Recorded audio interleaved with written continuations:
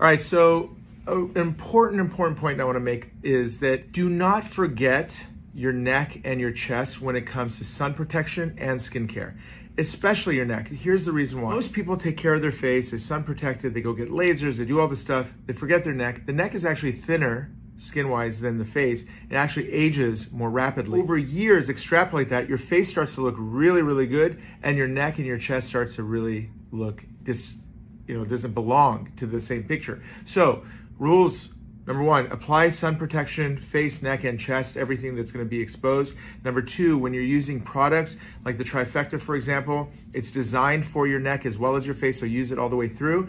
And if you're using lasers and things like that, always get the laser done on your neck and possibly your chest at the same time as you're doing your face. Microneedling, same thing.